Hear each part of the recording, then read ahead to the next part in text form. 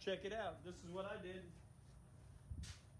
Hooked up the hood latch setup on the Camaro dash and used a VW Jetta hood latch to lock it.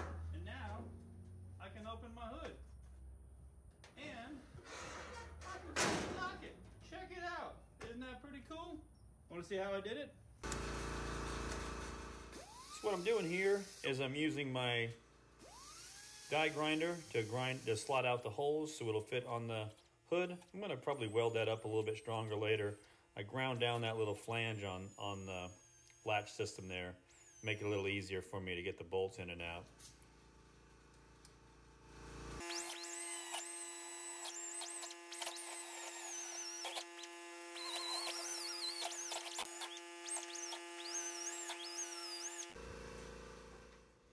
Had to test fit the lock mechanism a bunch of times. So what I did is I pulled out that engine bay cover that covered the radiator so I could look in there and I could see how how exactly the lock goes down so I know what size plate to make for that. And also I had to sl slot out the factory hood latch mechanism area. I've already removed the lock if you notice there. And so what I did is I, I drilled out the little corners to kind of make slotting it a little bit easier and it just makes it stronger. Use my trusty old Milwaukee M18 grinder and then I use my body saw. Thing works great.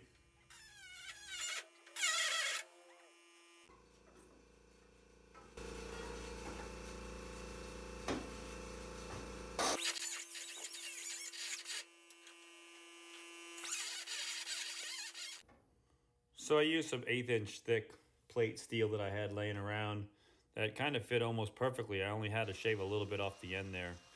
And I rough cut it here so I could kind of put it all together and then see what was missing. Then I had to slot out for the lock mechanism. So the lock mechanism sits on top of this when it's welded in. This way it's always pushing down. I guess you could do it either way, but that's just, I can easily access it. So it doesn't really matter which way you do it, I don't guess. But I ended up cutting a little more out a little bit later, made more room because, of course, you always want to cut more out later than have too much cut out. I taped the two pieces together. That kind of made fitting it a little easier. Once I did that, then I could put that part on the hood and lift the hood up to see, make sure it all fits. I'm not sure why I didn't remove the grill earlier. I probably should have. That would have made it a lot easier. Sometimes I'm not exactly thinking clearly, I guess. and But, you know, that's part of building cars. You do stuff a couple times before you get it right. Here I'm notching out around where the bolts are that hold the original bracket in place. It just, you know, it allowed it to go down further and I had to shave a little bit more off the back again. But that's what I did there in case you're wondering. You can see the bolt holes, the bolts there, right in front of the grinder. So it kind of set in between the two bolts there, right where that piece of tape is. So after I got that sorted out, I went ahead and drilled out the holes and put some rivets mounting the plate and the lock mechanism together. This way I could fasten it to the hood and then weld it in instead of trying to figure out where it goes later. I figured that's the easiest way to do it. Maybe there's another way, just the way I did it. Also, I, I realized I should be holding the drill and pushing down towards the ground as opposed to pushing towards my hand. I've already got enough holes and cuts in my body. I don't need any more this week. I'd love to hear some recommendations on a better rivet gun. This is just a cheap one I think I got from Harbor Freight or Amazon or something. I'd like to get a professional one. I'm not really sure if an air operated one is worth the money, but either way, let me know. Appreciate it. Put it in the comments. Here I'm finally welding in that plate to the original bracket, tacking it all in, moving around till I get it nice and, you know, firmly tacked. Then I can open up the hood and weld it all from the top. You always want to check twice. You know, you want to check it to make sure it fits before you weld it in. You got to be, you know, you, it's really a pain to kind of go back and cut something out. So that's what I did there.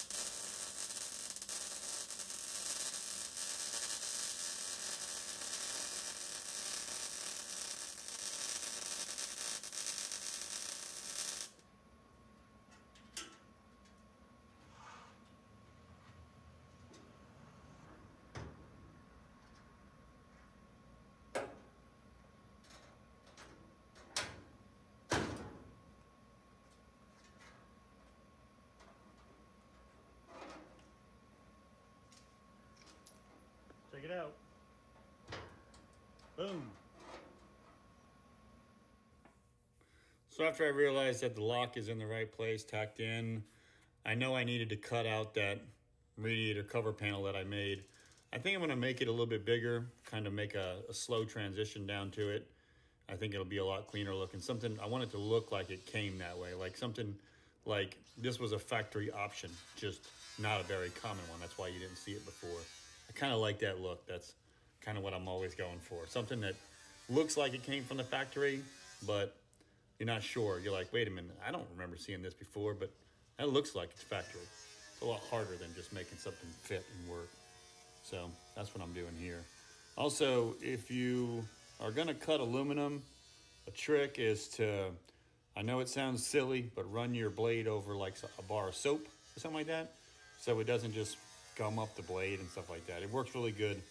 I don't know how it does, but it works. Somebody pointed it out to me and I did it and I'm like, wow, this is actually pretty crazy because it really does work. See, I'm using it with the, the body saw right there too. It really does help when you're cutting aluminum.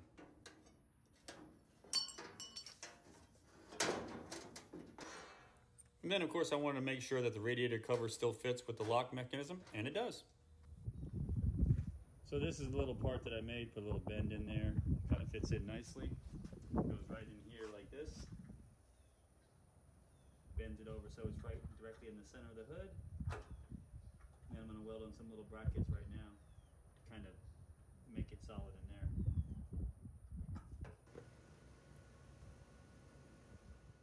Now, if I was confident with my fabrication skills and my knowledge, I probably could have just welded that straight to the lock mechanism instead of making the little kind of slotted bracket so I could slide it on there kind of like a key. But this way, I'm able to change it if, if I was wrong. So anyway, worked out really good. I put two little plates on the side to kind of hold that in the slot up top. It's kind of hard to see. There's really no need to show you exactly how I made this because this really is custom just for my vehicle and all the other stuff that I have. So you would need to figure this little part out or, or use a different lock mechanism. You just can't get your finger in there. Probably on the Jetta that it's for. I think it's like for a 99 Jetta. Picked, it, I picked up that lock set, by the way, off of eBay for like, I think it was like $16 for the top and bottom. So pretty good deal.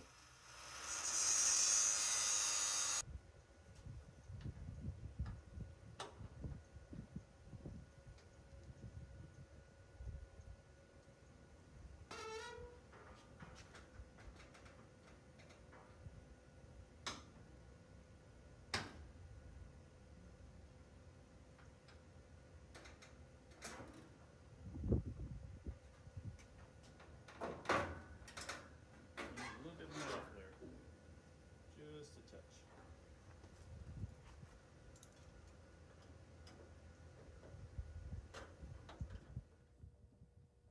At this point, I decided it was probably a good idea to just go ahead and weld it on there, knowing that it was really close. So I tacked it up. I'll fully weld that up, just like everything else once I pull it off. Just, uh, this is all just for fitment stuff, so. Having an air nozzle is kind of critical whenever you're doing a bunch of welding. You can cool down the metal so it doesn't transfer heat anywhere else. And there was some plastic on there that I didn't want to overheat and melt, so that's why I did that. It's caught, see? Can't lift it up. Push this down, lift the hood up a little bit. I'm gonna shave that just a little bit more though, I think.